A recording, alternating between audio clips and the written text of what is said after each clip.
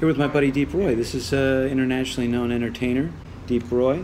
And uh, we're, we knew each other and known each other for a while. We've been friends. We worked on The Grinch together. Yes, we did, and I think it was such an amazing movie. Ron Howard, I always wanted to work with Ron, Ron Howard. Yeah. It's a long time ago, too. It's, I think it's 90s.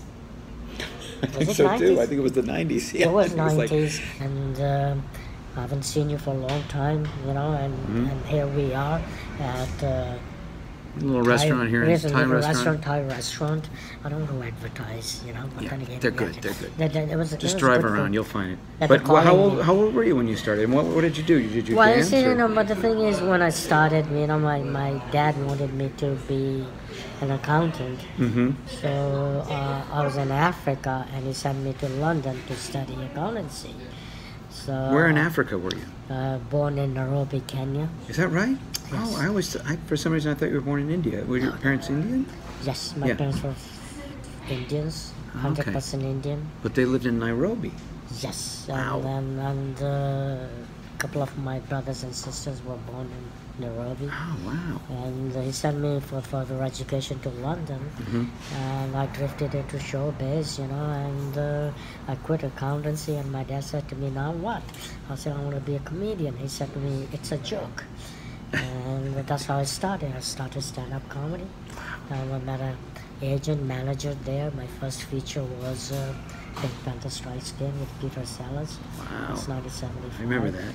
Yes, and that's how it all started, and the rest is. Uh, And that's his and work with Tim Burton and Ron Howard and Oh uh, yes, you know, all I mean, the all the greats. uh, all- you know, all Had an amazing uh, career, and it's still Yeah. going strong. It is, you know, I mean, uh, you know, working with uh, all these uh, great directors, uh, Mm-hmm. uh, Tim, J.J. Abrams, J.J. Abrams. uh, Michael Bay. Uh-huh. I, I worked with Michael uh, Bay once. Yeah, you know, and uh, and um, uh, Blake Edwards.